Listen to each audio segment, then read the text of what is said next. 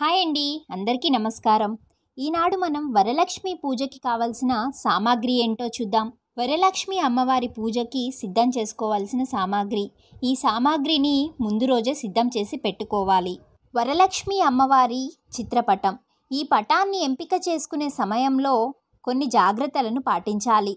పటంలోని అమ్మవారు నిలబడకూడదు. కూర్చొని ఉన్న చిత్రపటాన్ని మాత్రమే మనం తీసుకోవాలి. ఆకుపచ్చని చీరలో వెనకాల కలశంతో అటు ఇటు ఏనుగులతో ఉన్న అమ్మవారి చిత్రపటాన్ని పూజించటం మరింత శుభప్రదం. రెండు రాగి లేదా వెండి కలశం కలశ పూజ కోసం. రెండు కొబ్బరికాయలు.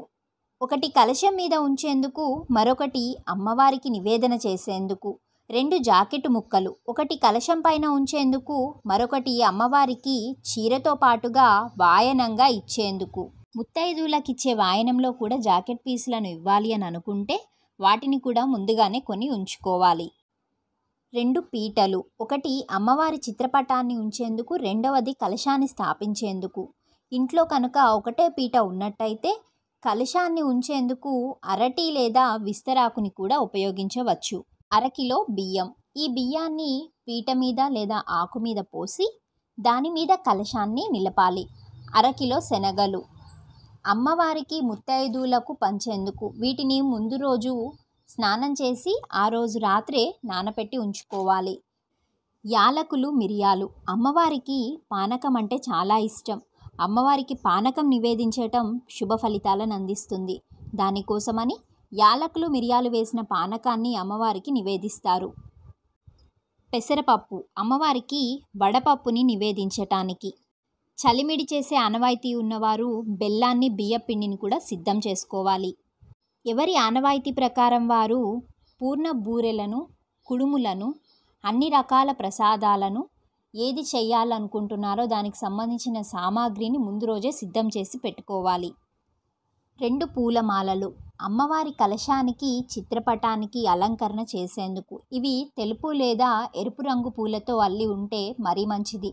ముగ్గు వేయడానికి కాస్త బియ్యపిండి అమ్మవారి కలశానికి పీటకు అద్దేందుకు అమ్మవారికి తాంబూలంలో ఇచ్చేందుకు పసుపు కుంకుమ తీసుకోవాలి.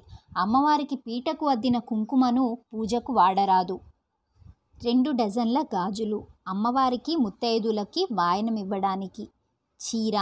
అమ్మవారికి పూజలో ఉంచేందుకు ఒక చీర. ఇది ఆకుపచ్చ తెలుపు ఎరుపు లేదా పసుపు రంగులో ఉంటే మంచిది. నలుపుని తలపించే ఏ ముదురు రంగులు కూడా శుభప్రదమైనవి కాదు. గంధము ముత్తైదువులకు అమ్మవారికి అలంకరణ చేసేందుకు. మూడు డజన్ల తమలపాకులు అమ్మవారి కలశానికి ముత్తైదువులకు మూడేసి తమలపాకుల చొప్పున దక్షిణతో అందించేందుకు. రెండు డజన్ల చొప్పున అరటిపళ్ళు ఖర్జూర పళ్ళు వక్కలు చిల్లర నాణాలు పసుపు కుంకుమ ప్యాకెట్లు ఇవన్నీ తమలపాకులో ఉంచి దక్షిణ ఇచ్చేందుకు కావలసినవి సిద్ధం చేసుకోవాలి. మామిడి ఆకులు ఇంటికి తోరణంగా కట్టేందుకు పూజా గదిని అలంకరించేందుకు కలశంలో ఉంచేందుకు కావలసిన మామిడి ఆకులను అందుబాటులో ఉంచుకోవాలి. పంచామృతం కోసం ఆవు పాలు ఆవు నెయ్యి ఆవు పెరుగు తేనె పంచదార సిద్ధం చేసుకోవాలి. అమ్మవారికి నివేదించేందుకు మన శక్తి కొలది పిండి వంటలను సిద్ధం చేసుకోవాలి. తోరపూజ సమయంలో అమ్మవారికి మనకి కనీసం ముగ్గురు ముత్తైదువులకు కట్టేందుకు ఐదు దారపోగులను సిద్ధం చేసుకోవాలి. ఇవి కాకుండా ఇంట్లో ఉండే కొన్ని సామాగ్రిని కూడా మనం ముందు రోజే అందుబాటులో ఉంచుకోవాలి. అమ్మవారికి ఇరువైపులా వెలిగించేందుకు రెండు దీపపు కుందులను ముందు రోజే సిద్ధం చేసుకోవాలి. దీపారాధన చేయటానికి వత్తులు.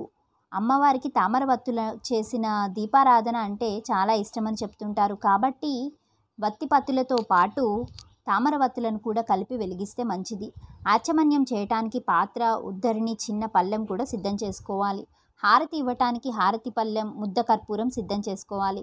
నివేదన సమయంలో మోగించటానికి గంట. ఇక వీటితో పాటుగా అక్షింతలు అగరవత్తులు దీపారాధన నూనె అగ్గిపెట్టె ఎలాగూ మన ఇంట్లో ఉంటాయి కదా? వీటిని కూడా సిద్ధం చేసి ఉంచుకోవాలి. ఇవ్వండి పూజకు సంబంధించిన సామాగ్రి. మీకు వీటిలో ఏమైనా సందేహం ఉంటే కింద కామెంట్ సెక్షన్లో అడగండి. మీ సందేహానికి సమాధానం ఇస్తాము.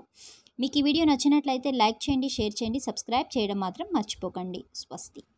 రానున్న ముందు వీడియోస్లో వరలక్ష్మి వ్రత పూజా విధానం స్పష్టంగా రాబోతుందండి. మన ఛానల్ని సబ్స్క్రైబ్ చేసుకోండి.